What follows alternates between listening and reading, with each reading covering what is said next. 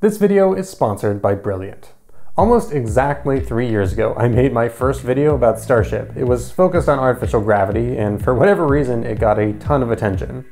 Now, every time Starship makes headlines, it resurfaces. So of course, with the recent success of the fourth test flight, it's been getting some renewed attention, and I've had multiple people tell me that my reference to Artemis has aged like milk. This confuses me, because when I was discussing Artemis, I simply mentioned that SpaceX had just been chosen as the sole provider for the early Artemis lunar lander, and that the $2.89 billion in funding would definitely speed up development.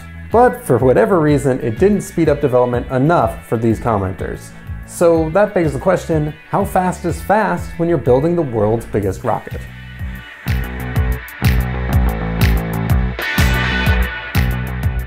Let's rewind to May of 2021 when I made that video and take a look at the state of Starbase. SpaceX did have a few large buildings, but much of the work was still being done in tents. The pieces that would become the iconic Starship launch tower were scattered all around Starbase, and the pad was still very much a work in progress. They had done hops of sketchy prototypes, slightly less sketchy prototypes, and had almost landed a still sketchy Starship SN-10, just for it to explode a few minutes later due to a hard landing. I used a clip of that SN-10 explosion in my video, not just because it was a spectacular failure that reinforced my point about Starship still being a very early prototype, but it was also the best attempt we had seen up to that point at a belly flop landing. Somewhat intentionally, it was only two days after I published my video that SN-15 completed its 10 kilometer flight. It successfully landed, making it the first, and until very recently, only prototype to survive a belly flop landing. Also, this is all the second stage. The first stage had only had one prototype at the time, which had already been decommissioned and scrapped.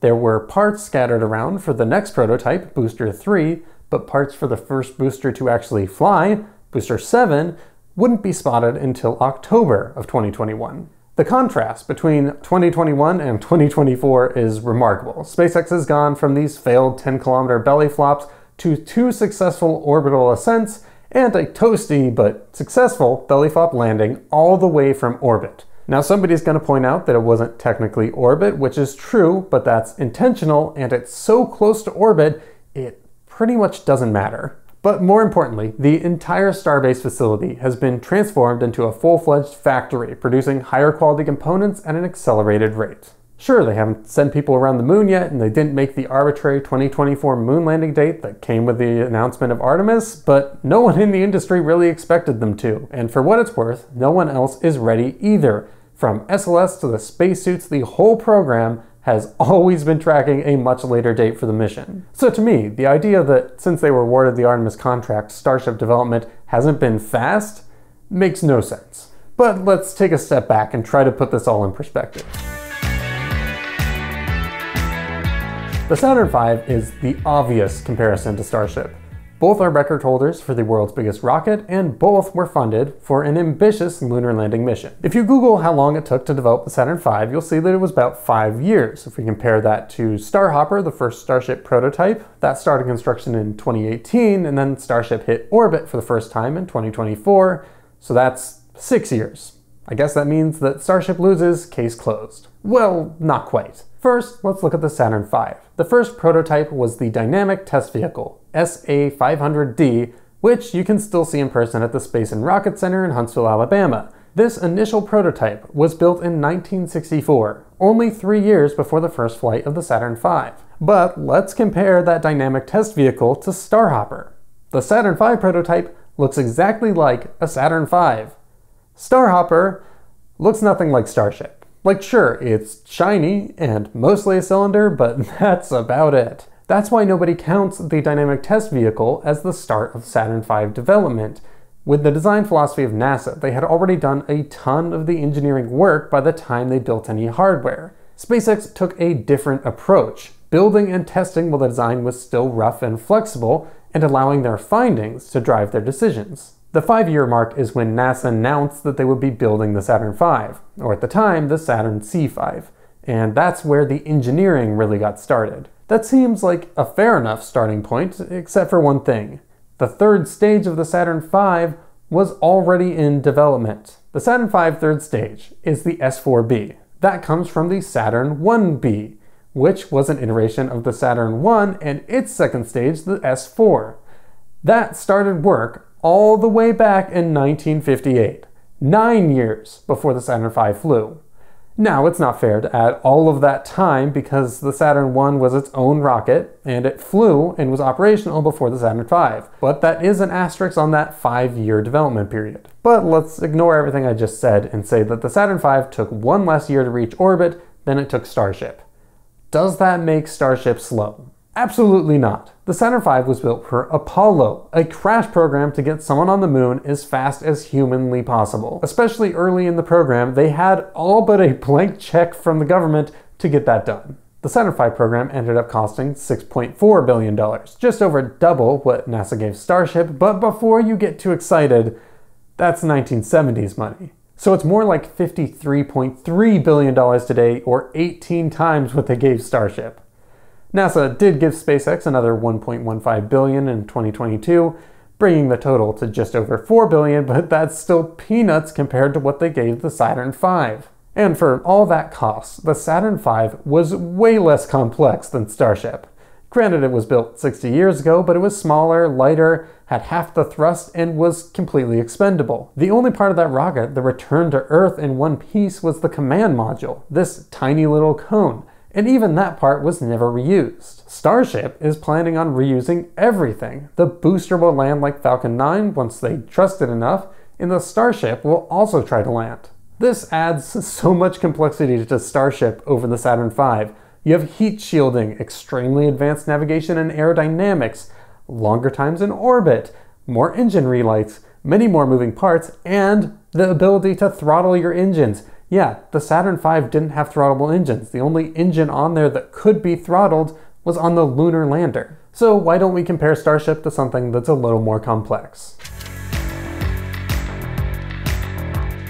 Understanding all of these complexities and innovations in the aerospace industry can be quite challenging, and that's why I'm excited to tell you about today's sponsor, Brilliant. Brilliant is an excellent interactive learning platform whose goal is to make mastering concepts in science, engineering, and math engaging and fun. Whether you're looking to enhance your understanding of physics, dive deep into rocket science, or you're simply looking for a challenge, Brilliant has courses tailored for you. One of the reasons I love Brilliant is their hands-on approach to learning. They have interactive lessons that keep you engaged and help you learn through problem solving and critical thinking. This is perfect for those who are curious and want to understand how the world works at a deeper level. Their How Technology Works course takes you inside the technology you use every day to give you an engineer's understanding. From computer memory, which teaches you about computational logic using hands-on experiments with transistors, to GPS, which covers all of the ways that technology can pinpoint your location on Earth, you can learn all about the technology that allows modern spacecraft to navigate and fly autonomously. Try everything Brilliant has to offer for free for 30 days at brilliant.org slash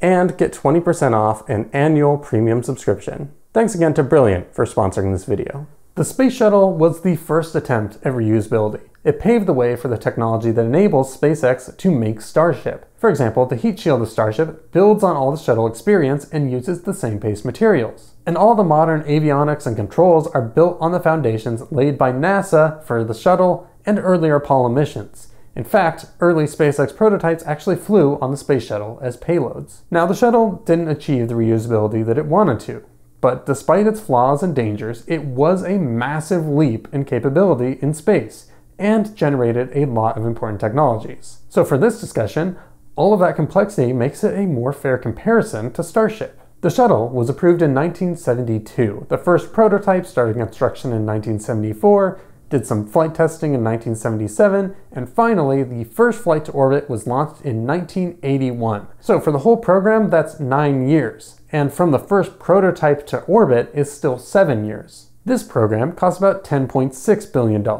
just for development from 1972 to 1982. And that's about $60 billion today, a bit more than the Saturn V, and still 15 times what Starship has been given so far. So despite having a fraction of the funding, Starship is still moving faster than the shuttle. But maybe that's still a little unfair. The Space Shuttle paved the way for Starship and created a ton of technologies from scratch while trying to fit way too many requirements from NASA, Congress, and even the Department of Defense. Maybe the best comparison has been right in front of us the whole time. Who better to set the benchmark for SpaceX than SpaceX? They built the Falcon 9, the first and currently only reusable orbital rocket. It's the most prolific launcher in the world by such a wide margin it's become a running joke. For reference, last year, 80% of the mass put into orbit rode on a Falcon 9, and this year that number looks like it's going to be a lot bigger. But anyway, how long did it take to develop the Falcon 9? Well, SpaceX announced that they would start work on Falcon 9 in late 2005, and it flew for the first time in June of 2010. That's about four and a half years, or about a year and a half shorter than Starship. But this is a much smaller rocket. The entire vehicle, booster, second stage, and fairing is shorter than just the first stage of Starship. And it wasn't reusable in 2010. It didn't even have landing legs or grid fins. It was designed to be expendable first and they wouldn't even attempt to splash down for another three years. And it didn't successfully splash down until 2014. So that's nine years from the start of the Falcon 9 program to the first splashdown of a booster. Starship did it in six. Now that's also unfair, because in those four extra years, Falcon 9 flew nine operational missions that delivered payloads to orbit, but it highlights the added complexity of trying to land a booster, let alone the second stage. So, what's the lesson here? Well, Starship clearly is not slow. It's moving incredibly fast for how massive and complex it is. And it's doing it at a bargain rate as far as NASA is concerned. So no, I don't think that my comments from three years ago aged like milk. Starship, with the funding and knowledge of NASA, has continued to evolve rapidly and has proven that with some more work, it can become a functional and incredibly powerful launch system. And with that rant over, I'm Con Hathy, thanks for watching, and I'll see you next time.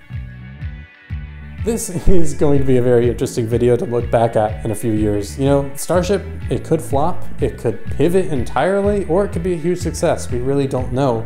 But so far, SpaceX has made a lot of ambitious promises, and they've been a pretty safe bet. I mean, they won Commercial Crew, and then they beat Boeing by years, which surprised a lot of people. And don't forget about Falcon 9 reuse. They landed that booster, and it was a huge achievement, and it's kind of been forgotten by the mainstream. But yeah, I don't think there's a better company out there to be attempting full reuse, and I am very excited to watch this project over the next few years. See you guys next time.